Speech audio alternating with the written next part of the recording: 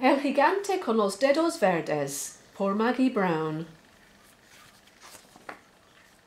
Era el primer día de las vacaciones escolares.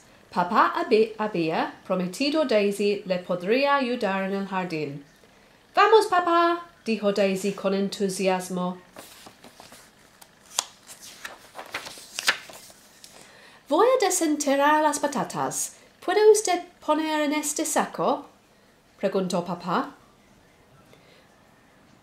Cuando Daisy se dio la vuelta no podía creer lo que veía. Había un montón de gusanos jugando al fútbol. Entonces Daisy vio algunos gusanos que tienen un día de campo. Buenos días, uno de los gusanos dijo. Se puede hablar, dijo Daisy con sorpresa.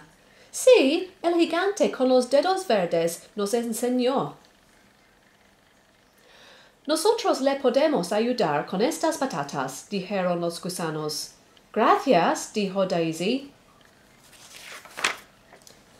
Bien hecho, dijo el papá. Tengo un poco de ayuda, explicó Daisy. ¿Se puede sacar a relucir estas hojas? preguntó el padre. Sí, eso es fácil, dijo Daisy.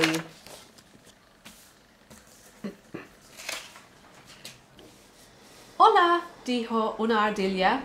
Daisy miró hacia arriba. Es increíble. Se puede hablar.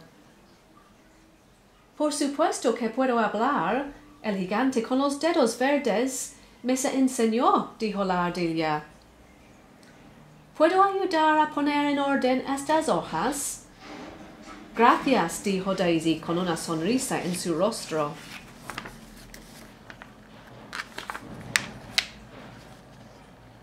Muchas gracias, dijo Daisy. Buen trabajo, dijo el papá. Tengo un poco de ayuda, dijo Daisy.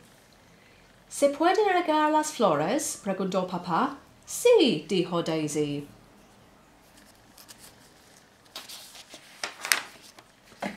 Pero cuando Daisy se volvió, el grifo oyó una vocecita. ¡Ayúdame! ¿Quién es ese? preguntó Daisy. Soy yo, rescató la araña. Muchas gracias, dijo la araña.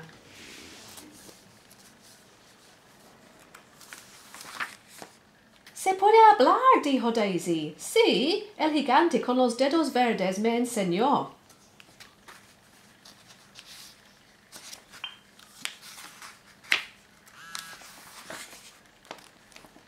Va a volver llover pronto, dijo la araña. Usted no es necesario regar las flores.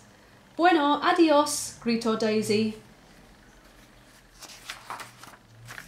Gracias por un día precioso, dijo Daisy, papá dando un gran abrazo. Has trabajado muy duro hoy, dijo papá. Pero tengo un poco de ayuda, papá. Daisy explicó a papá acerca de todos los animales que había conocido ese día y cómo la ayudaron. Me dijeron que el gigante con los dedos verdes les enseñaron a hablar, pero ¿quién es ese? ¿Puedes adivinar? preguntó el papá. Daisy se echó a reír cuando vio los dedos de su padre. Tú eres el gigante con los dedos verdes. Gracias para escucharme.